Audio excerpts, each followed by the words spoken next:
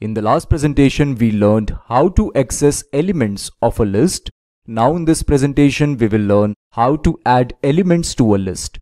So without any further delay, let's get started. The first topic of this presentation is adding elements to a list. The second topic is append method. The third topic is insert method. And the last topic, the fourth topic is extend method. Let's start with the first topic that is adding elements to a list. So what do we mean by adding elements to a list and how to add elements to a list? Elements can be added to a list in different ways. There are multiple ways in which we can add elements to a list. Following are the methods to add elements to a list. The first method is append method. The second method is insert method. And the third method is extend method. With the help of these methods, we can add elements to a list. Now let's see how to do this. We will start with the first method that is append method and see how it works. So let's understand how append method works and how it is useful in adding elements to a list. With the help of append method, we can add elements to a list. Append method is a built-in method used to add an item at the end of a list. So append method is used to add a specific item at the end of a list. So we do not have a choice of adding items at any position. We can only add items at the end of a list using append method. Let's now see the syntax of the append method. We first need to provide the name of the list where we want to add an item and after this we must specify dot and append method and to the append method we need to provide the value, the value which we want to add to this list. Let's see with the help of example how append method works. Let's open our command prompt and activate the Python interactive shell. After activating the Python interactive shell, let's type this languages equal to C, CPP, Java. So now we have a list of programming languages where we have a total of three languages C, CPP and Java. Now let's say the requirement is to add one more language to this list.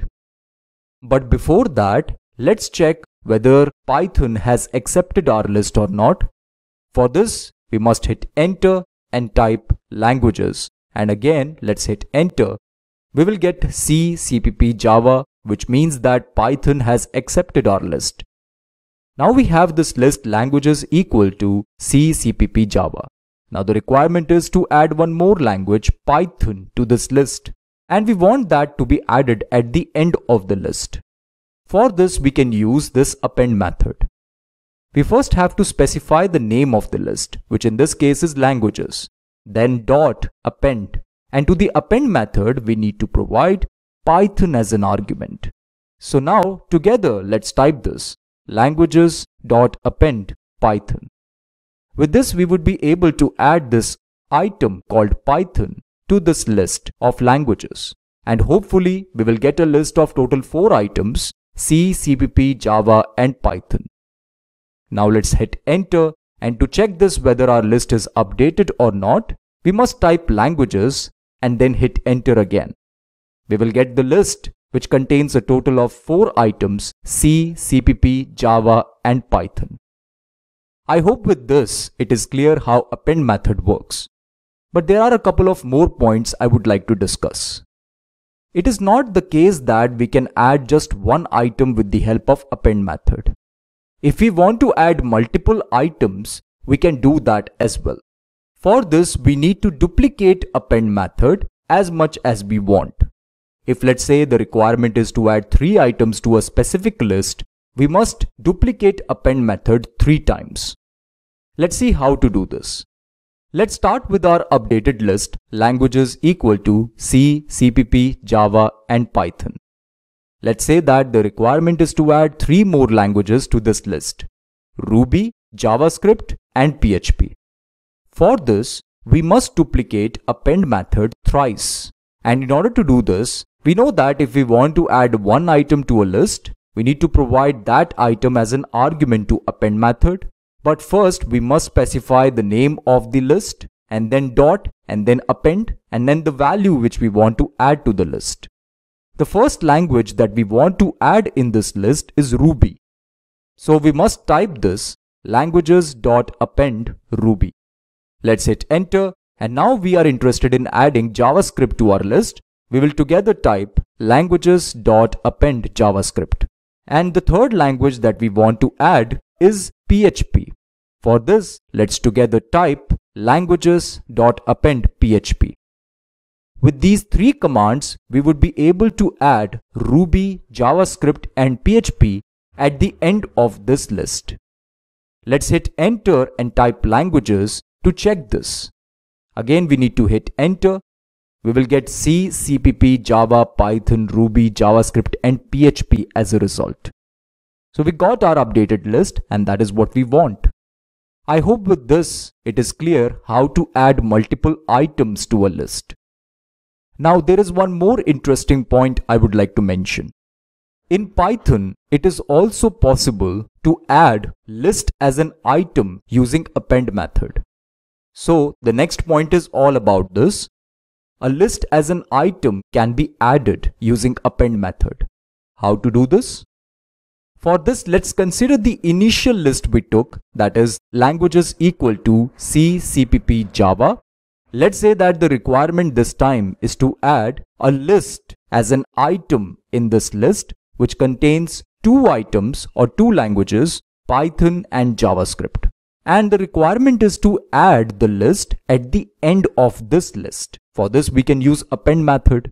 But this time we will not pass a string, we will pass a list. And we must pass list with two items that is Python and JavaScript. This is how we can do this. Let's type languages.append Python JavaScript. So Python and JavaScript are provided in this list and this list is provided as an argument to this append method. With this we would be able to add this list to this list. So this list will now be the fourth item of this list. Let's hit enter and verify this by typing languages and then again we need to hit enter.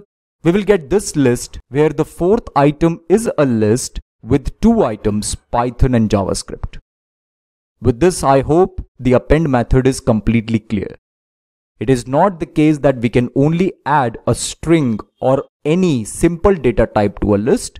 We can also add a list or a dictionary or any other data type as an item to a list. Now we are done with this topic that is append method. Let's move on to the next topic that is insert method. So what is an insert method? Insert method is a built-in method used to add an item at a specific position.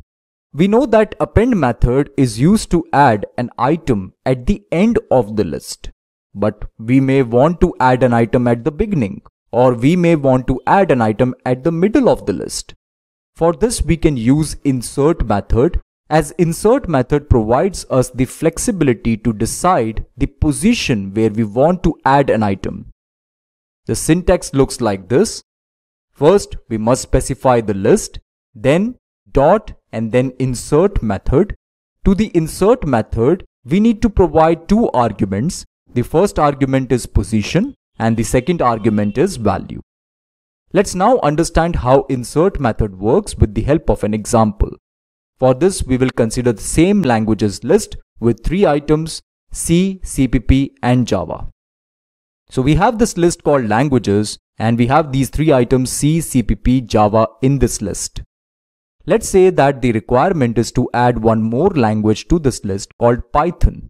And we don't want that the Python should be added at the end of this list. We want that the language Python must be added at the beginning of this list. That is, we want that Python must be the first item of this list. For this, we can use insert method because here append method will not work as append method is capable of adding an item at the end of the list but this time the requirement is different. We want that the Python language must be added at the beginning of the list. So for this we must provide 0 as the position value. Because we know that the index of the first item of the list is 0.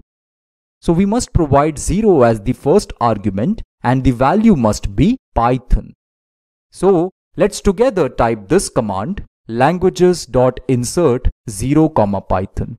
With this we would be able to add Python at the beginning of this list.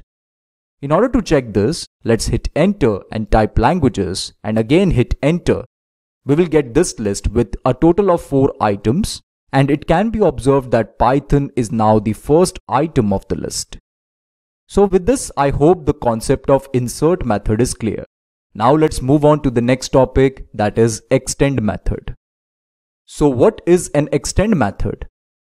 Extend method is also a built-in method that is used to add all items of one list in another list. So with this method, we would be able to extend any list by putting the items of another list in that list. The syntax of extend method looks like this. We first need to provide the list which we want to extend, which is list 1 in this case, then dot and then extend method. And to the extend method, we must provide the list 2, which is the list containing items that we want to put inside list 1. So list 2 must be provided as an argument to extend method. In order to understand how extend method works, let's consider the same languages list with three items C, CPP and Java. Now let's say that we have one more list called more languages which contains two items Python and JavaScript. So we have these two languages inside this list called more languages. Now let's say that the requirement is to merge these two lists or put these two items of this list inside this list. For this, we need to replace list 1 by languages because we want to extend this list and then to the extend method, we must provide more languages as list 2. So we need to replace list 2 by more languages. So let's together type this command languages.extend more languages. With this, we would be able to extend languages and this means that we would be able to add these two items in this list. In order to check this, let's hit enter and type languages and again hit enter. We will get this list with a total of 5 items C, CPP, Java, Python and JavaScript. Now this is the right time to understand the difference between extend and append method. Recall this that append method is capable of adding an item at the end of the list. That item can be a simple item like a string, an integer or any other such item or it can be a list, dictionary, tuple or many such complex data structures. We have learned this already that with append method we can add a list at the end of the list. And we have seen an example where we have the list called languages with three items C, CPP and Java. And we have added this list with two languages Python and JavaScript as the fourth item of this list. So at the end we got C, CPP, Java and the fourth item is a list with two items Python and JavaScript. But with extend method, we would be able to extend the existing list, which means that we are not adding this list as an item of this list.